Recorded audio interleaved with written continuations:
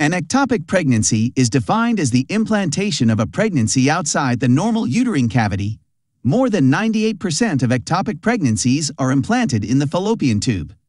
Rarely, they can implant in the interstitium of the fallopian tube, ovary, cervix, abdominal cavity, or in a caesarean section scar. Unfortunately, an ectopic pregnancy is not viable and should be removed either medically or surgically. Ectopic pregnancies commonly occur between the 4th and 12th weeks of pregnancy. Most patients with an ectopic pregnancy present with abdominal pain and associated vaginal bleeding in early pregnancy.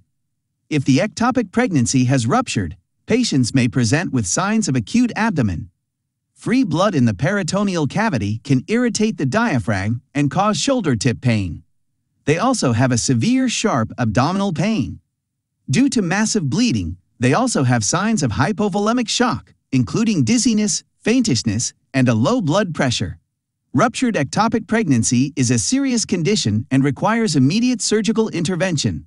Causes for ectopic pregnancy include fallopian tube damage due to pelvic infection, previous ectopic pregnancy, and previous tubal surgery, and functional alterations in the fallopian tubes due to advanced maternal age and smoking.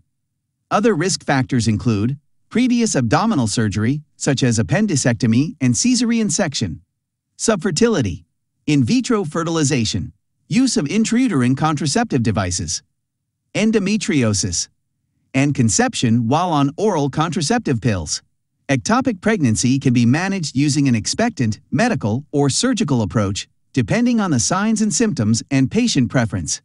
Expectant management is indicated for patients who are hemodynamically stable and asymptomatic.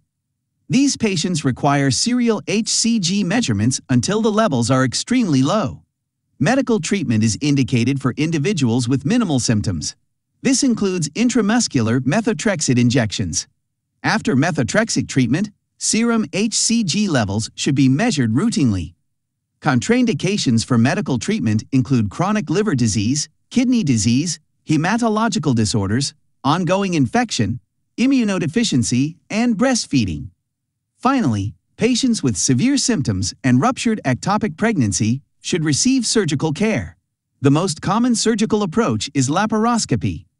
Laparotomy is reserved for severely compromised patients.